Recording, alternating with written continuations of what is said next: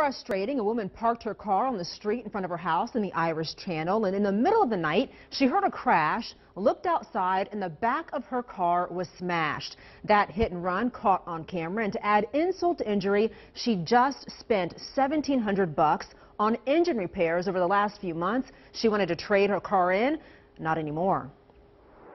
And at first I thought it was maybe the garbage truck, but it was like going on too long and like too noisy. And so I ran to the window and I saw this white truck.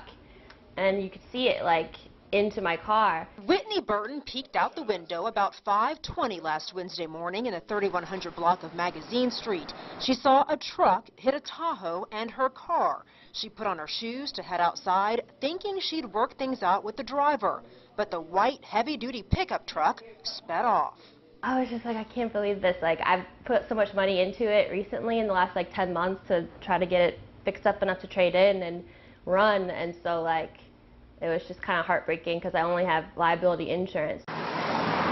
So she went to businesses along Magazine asking if they had surveillance video, and she found it.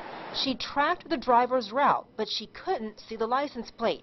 She's hoping if people see a truck like this with damage, or if it shows up at a body shop, maybe police will get a call, and maybe then she can work things out with the driver. I mean,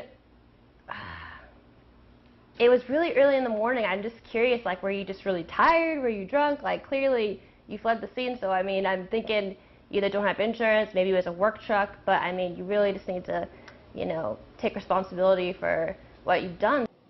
And it looks like that truck has black custom rims and damage to the right front end. Obviously, if you spot it, help Whitney out and call police.